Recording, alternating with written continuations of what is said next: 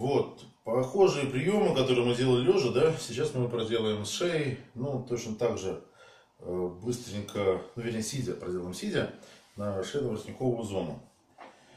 Также быстро проверяем, диагностируем перед каждым посещением нашего пациента, клиента смотрим и заодно это же уже и есть легкий быстрый массаж. Когда вот долго массировать некогда, да, тогда просто вот так вот встряхнули, повибрировали.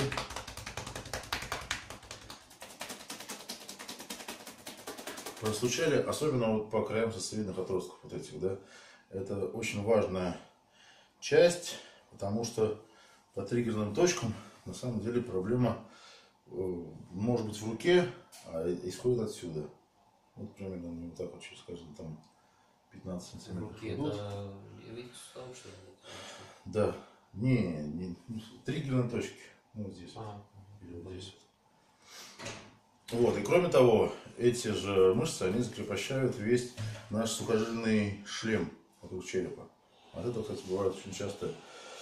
Ну, вернее, мы, избавляя от этого, избавляем человека от э, головокружений, там, Шума в э, ушах. шума в ушах, да, бессонницы, хронической усталости, э, метеозависимости. Многие мне, честно говоря, спасибо потом говорят, потому что не ожидали. У одной женщины буквально с первого раза у нее э, не имели пальцы рук, так что просто покалывали как будто бы иголками. Постоянно иголки вставляют сюда и ночью, и днем. И я буквально вот, а это были у нее позвонки вот эти. э, Седьмой шейный и первый грудной. Вот за одного сеанса хватило и все, сразу все прошло. То есть Да. было, да? Да, да, да, было защемление нервное. То есть, ну, смотрите, вот эти вот три пальца это э, верхний отдел. Вот, значит, вот эти три. Давайте нам не лучше. Это верхний Ну, отдел. шеи и вот два-три по- позвонка грудных, да? А вот между лопатками грудной отдел это вот эти два пальца. Если они не имеют, то это вот прямой показатель. Да на вас тоже покажем, что уже начали. Не, ну Давайте, да. было два пальца, да. это видно, да. Правая рука. Вот, дополнительно, ну, пробили, простучали, да? Э, Метод растяжки. Ну, в принципе, то же самое я и стоя делаю, да? Ну, зависит от того, как, какой перед вами клиент. Вот смотрите, я его голову на бок и чуть-чуть начинаю по спирали. То есть а, такая, представьте, самурайская техника. Ну, знаете, как они бьют мечами? Самураи. Никто не знает. Эм, От Самурай пятки. нет. Как показать? Тут на этом. По технике золотого сечения, логарифмическая спираль. То есть наше тело, ну, если вы изучали э, золотое сечение, никто не знает. Наше тело, оно э, создано по законам логарифмической спирали. У нас все сочленения, они относительно друг друга в каких-то правильных пропорциях находятся. Ну, не, Числа Фибоначчи. не буду сейчас вдаваться, да, числа Фибоначчи прямо тут заметно, если это, вот, например, 1 сантиметр это сочленение, да, второе 2 сантиметра, потом 3 сантиметра, потом следующая косточка 5 сантиметров. То есть это как раз получается 1, 1, 2, 3, 5, дальше 8, 13. Это чисто Фибоначчи. Вот, и поэтому, когда они бьют мечом, э, самураи, они включают весь корпус тела, пошло длинное сочленение, вот пятки, видите, пятка толкнулся. Потом корпус, ну, бедром качнул, да, потом корпус, потом пле- плечо, предплечье, и только потом меч идет. Получается такое очень хлесткое движение. А а оно, да, и оно очень сильное, очень мощное, задействовано везде. Ну, когда я массаж показываю, там мы тоже приемы некоторые делаем, именно вот пятки массажные. А здесь мы представляем, что как будто бы у нас все сочленения идут до макушки. Макушки как будто бы, ну, вот этот меч мы поставили, да, или луч бьет вверх. И он должен у нас начертить вот эту логарифмическую спираль. О чем бы вам ее показать, чтобы было понятней. Ну, грубо говоря, ладно, просто спираль. То есть спираль, она как? Она где-то из центра выходит и расширяется, да?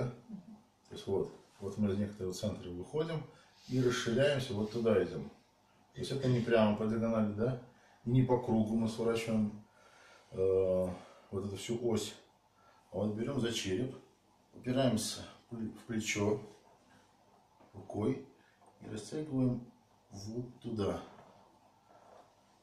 Не хватает вам руки, можете второй рукой по- помочь.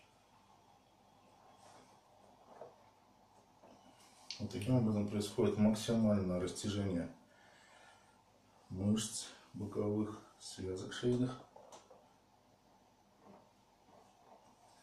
А, ты чувствуешь, как тянется, да? Ну да. Вот. И уже в этом процессе можно добавить вторую руку, нажимая на остистые отростки там, где вам надо. То есть вот я уперся, да, я чувствую, что он повернут в эту сторону. Но я не буду говорить право-лево, как бы не в этом смысл, а просто смысл умозрительно понимать, в какую сторону вы это делаете, да. Я вот так вот их прожимаю. К сожалению, не видно. Давай повернемся сюда. Чуть-чуть вот так перпендикулярно.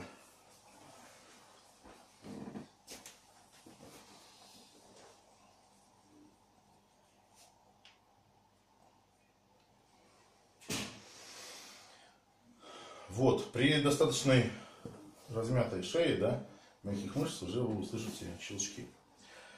А, Далее, следующий прием, это э, тракция. Обязательно, когда мы работаем с головой, особенно шеей, да, не забываем включать методы тракции. Чуть-чуть подогнали. Вот так вот. Соответственно, какие они могут быть? Просто можно взять, ну, чтобы на камеру было видно, за челюсть, мягко, да, и э, положить его череп основанием на свою, ну, как бы перепонку, вот на эту, да, вот, мягкое такое место достаточно получается. Положили и потянули вверх. У расслабленного человека, у девушек особенно, иногда прям видно, что на 2 сантиметра голова так вытягивается, шея длиннее становится. Прям, прям реально. Посерьезнее человек, да, помощнее, чуть-чуть голову назад и под ушами, вот где средние отростки, да, вот там захватываете. Во-первых, можно, опять же, плечи, да, захватить, а сами за счет рук вытягиваете вверх. С поворотами, с прокручиваниями. Чувствуете, да? Весьма. Вот. Далее, если шея короткая, в принципе, можно вот так вот захватить. И если он сидит перед вами, да, то вот так вот потянуть. Тут вы как бы упор получается в грудь за за счет рычага, да, а здесь мы также давим за ушами со средней отростки, да. Получается тот же самый упор, ой, рычаг, рычаг вверх. Вот. Подготовили человека. Вообще ты правильно делаешь. Сейчас я вытру спорту, что-то жарко стало. Правильно делаешь, что поворачиваешь. Намекая на то, что многие испытывают только фронтальную тракцию. А на самом деле нужно еще добавить вот так вот чуть-чуть по 45 градусов поворачиваем голову, да? Чуть-чуть назад, еще тракцию вот под таким углом. И вот в сторону. Чуть-чуть голову запрокидываем, как бы, да? Вот назад ее. Немножко. Также боковую тракцию, когда просто кладем голову, как будто бы на плечо, да? Делаем распорку из своей, из своего предплечья, упираясь в плечо и как можно ниже в затылок. И просто тянем. Уже может быть хруст, но пока это еще все еще метод подготовки. Еще раз повторю, что все эти методы подготовки это ваша техника безопасности. На, как бы, на холодные мышцы лучше вот, как бы, не рисковать, не делать. Вот. А, После этого ну, можно сразу перейти к техникам, да? С какой показать, что ли? Да, вот так, наверное, видно будет.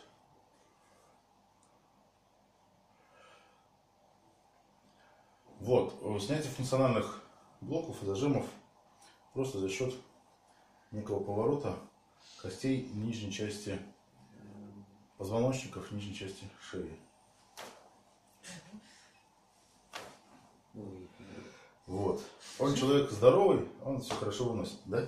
Нормально. Нормально же, да? Все, со стороны некоторые пугаются, кажется страшно. А, по факту, что мы сделали? Тебя прохрустело даже вот до сюда, по-моему, да? Ну да, глубоко. А здесь вот до второго позвонка, по-моему, второй шейный не затронулся. Или как? Но мне показалось там штуки 4 или 5, то есть в одной и в. Ну да, где-то вот от соединения шейных, шейного отдела с грудным, да, 4 сюда и 4 сюда примерно, да, вот так получилось. Вот, почему? Потому что давление мое было руки не э, перпендикулярно или, или параллельно плоскости плечам, да, а под 45 градусов, чуть-чуть, ну, вот так. Ну, чуть-чуть, чуть-чуть, да. А под 45 градусов вектор наклона я делал вот сюда. То есть вот соединение. А, Где, как его найти, знаете, да? Ну, во-первых, это два самых выпирающих позвонка. Ну, у некоторых бывает там три или четыре, так что немножко может запутаться, да?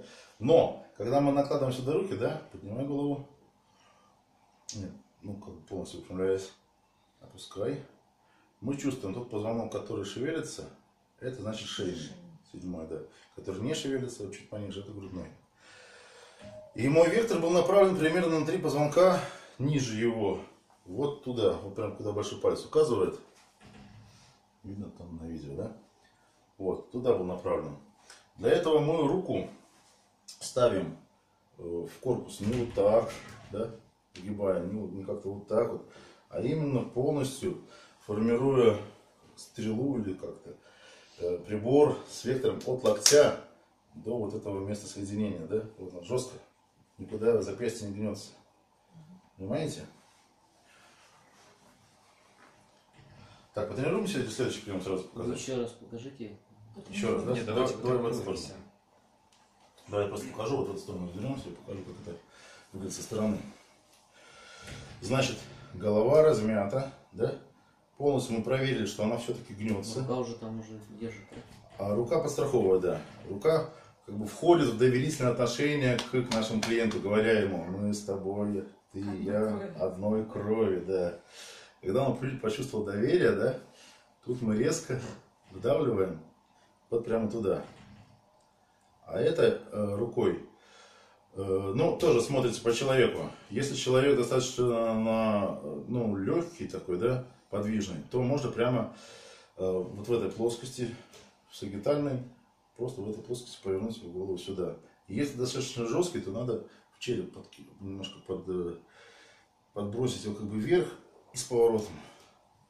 Вот туда, то, про что я рассказывал, да, вот это вот ось вращения. И опять же, если вы делаете это профилактически, да, то достаточно просто так сделать. Да. Если у вас какая-то цель что-то тут вправить, да, вы прямо конкретно смотрите на этот позвонок и стараетесь в него опереться, формируя из, ну, не у всех пальцы так гнутся, да, ф- формируя либо из какой-то своей косточки, ну, из какой получится у вас там, да, вот упор именно в этот позвонок. Ну, у кого-то вот это вот запястье, да, э, где ладонь переходит запястье, вот прям именно в этот позвонок. И тогда вы уже делаете поворот. Но есть нюанс. Некоторые люди особенно, ну вот ты такой крепкий, накачанный, да, а некоторые такие подвижные, прям как это, как шланг такой, да, им нужно некоторое закрепощение. Если, может быть, вы видели, у мальчиков есть ремни такие, они ремнями их пристегивают вот так вот, чтобы, чтобы он не дергался, не падал, да. Или вот мы используем так попроще вещи, подставляем колено под плечо. Соответственно, у нас уже получилось вот тут жесткий упор, да, он сам не уползет сюда, да, вот. И таким образом мы можем воздействовать на позвонки выше, выше, выше. То есть, э, уперев ладонь, то есть из ладони получается распорка, да, в плечо, мы выбираем тот позвонок, не видно, да, какой нам нужно, повыше, потом еще повыше, Но это то же самое по правка позвонка, что мы лежа делали. Нет. Там мы большей части растягивали со скручиванием. Вот так вот. Ну, мы вот когда... А здесь у нас конкретно в каждый позвонок. Ну как, я не знаю, нельзя вообще сравнить то же самое, не то же самое. А, Просто в вашем арсенале это должно быть, Мгм. потому что, Получается, так делаю так, да? да, если что-то одно не получилось, Попробуй другой из вас. Вот для следствия показываю, да? У нас получилась распорка, и мы можем уже выбрать конкретно позвонок, какое нам оказывается давление. Вот. А следующие приемы работы э, мануальной правки шейного отдела вы увидите в следующем видеоролике. Так что я с вами не прощаюсь.